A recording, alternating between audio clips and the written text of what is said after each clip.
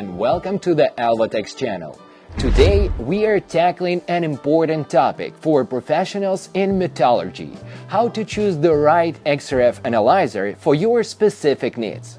Metallurgy often involves analyzing various metals and alloys, each with unique requirements. Choosing the right analyzer can help you ensure accuracy, efficiency, and compliance with industry standards. In metallurgy, you may encounter tasks like identifying alloys composition, ensuring material quality, detecting impurities, or sorting scrap metals. Each of these tasks requires specific capabilities from an XRF analyzer.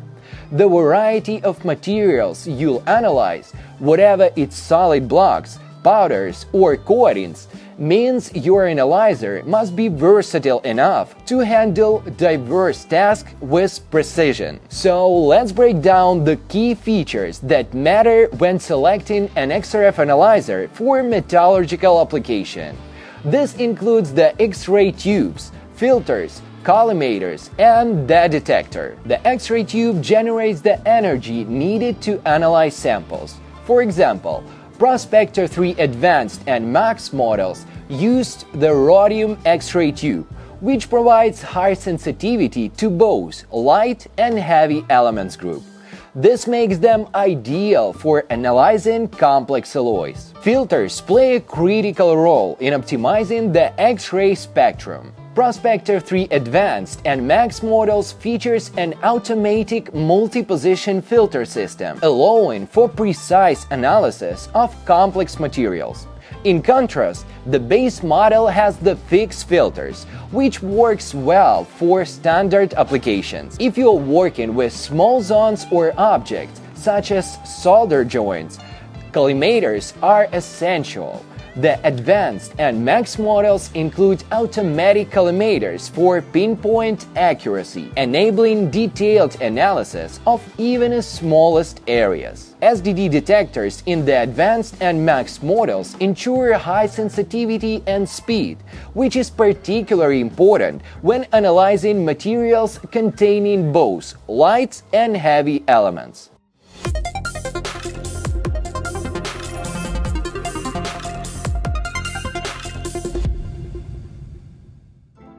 Now, let's compare the three Prospector 3 models to help you find the right one for your metallurgical needs. We'll also look at the specific alloys they are best suited for and the types of tasks they can handle. The Prospector 3 base model, which is blue one, are perfect for routine metallurgical tasks. Its tungsten X-ray tube and fixed filter provide reliable performance for standard applications. It is a great choice for analyzing ferrous and non-ferrous metals such as carbon steel, stainless steel, and copper alloys. Typically, tasks include sorting scrap metals, verifying the composition of incoming raw materials, routine quality control checks during production. The Prospector 3 Advanced is designing for more demanding tasks, featuring a rhodium X-ray tube, automatic filter switching, and an SDD detector. These upgrades make it suitable for analyzing complex materials and multi-component alloys. This model is ideal for analyzing alloys like aluminum and titanium, commonly used in automotive and aerospace industry. The advanced model excels at tasks like ensuring precise alloy compositions for critical components, analyzing plated or coated materials such as galvanized steel or anodized aluminum, detecting trace elements to comply with industry standards. The Prospector 3 Max offers the most advanced capabilities, including analysis of light elements like magnesium and sodium. Its helium purge featured an enhanced detector, make it definitely the top choice for specialized applications. This model is particularly suited for analyzing lightweight magnesium alloys, high performance aerospace materials, and rare earth elements. The MAX model handles advanced tasks such as identifying impurities in high purity metals, analyzing advanced multi component alloys used in critical industries like aerospace and defense, measuring ultra thin coating of high precision parts. And now let's move on to the most interesting part of our today's video, to the practice part. And we will make the small experiment uh, with three of our metal samples.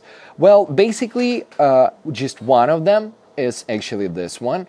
This is the 316 grade, which is a standard alloy that the basic analyzer will definitely see it. So we'll start with that one. Right? All we need is just our Prospector 3, the base model. Then to choose the calibration of alloys without light elements. And just to check this one. Basically, we put the duration for 5 seconds, which is totally enough for us to check it. And now let's make the first analysis. So we are done with our first analysis and analyzer shows us it's a 98% match to stainless type 316 and it also provides us some elements which is all considered here. And now let's try to measure another part which is, has the concentration of aluminum. We don't know how what the, the concentration of aluminum here but actually let's check it out and see how the basic will show it us. So dealing with the same. We just need to position the device in the right way so we have all the area covered. And here we have our second analysis and here where, where things get a little bit interesting because we know that the concentration of four uh, basic elements of the heavy metal group and we also have the mark which says LE which is basically light elements, and it equals 99.5%.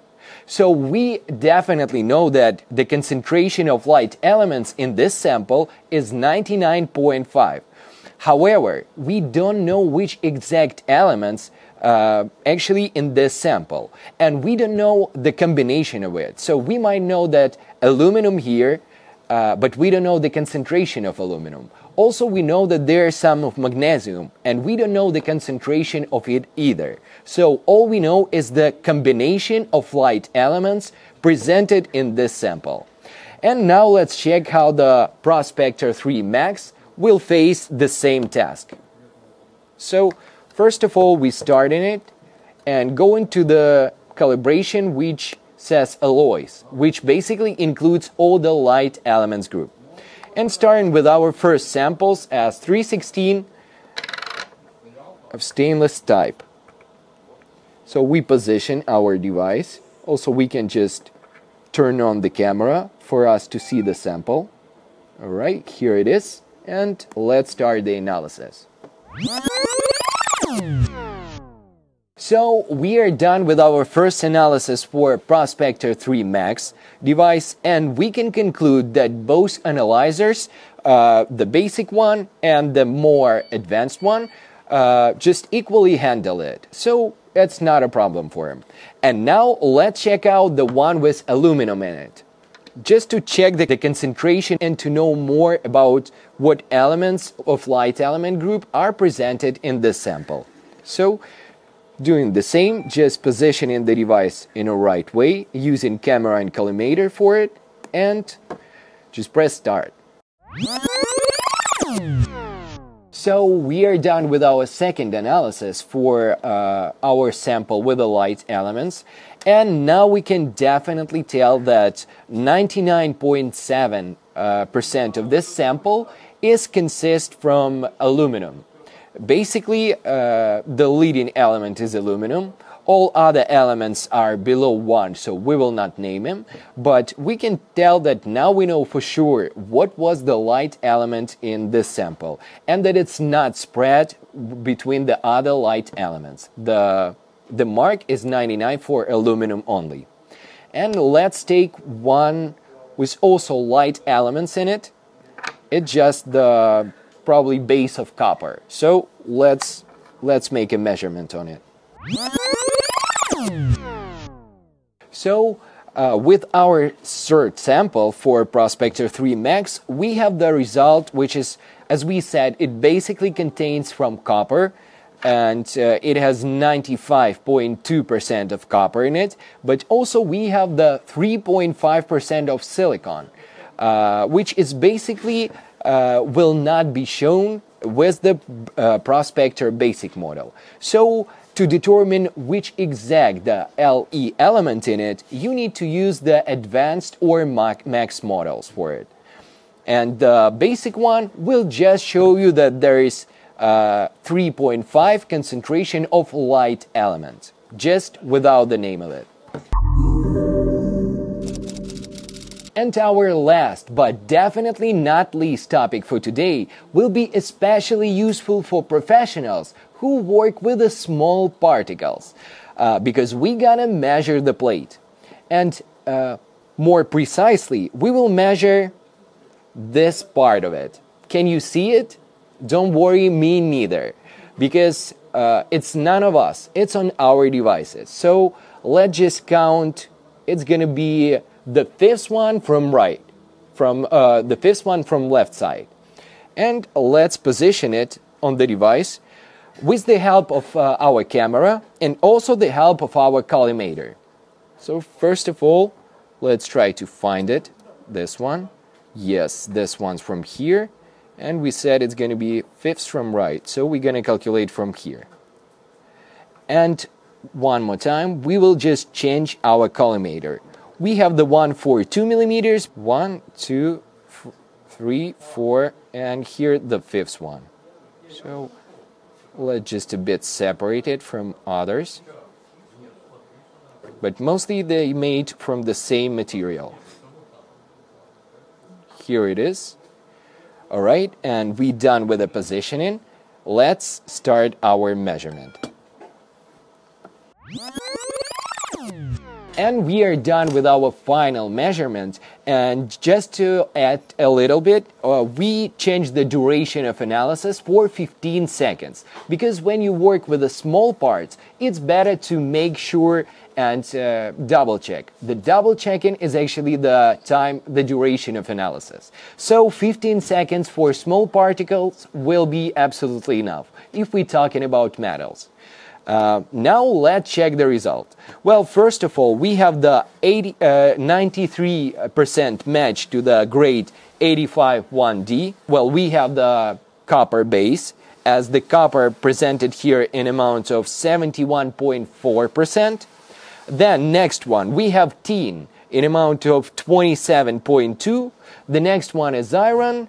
And the last one, manganese, which is really small concentration of 0.2. To conclude, even the small particles can be checked if you have the right tools for it. So, all the impossible can be possible.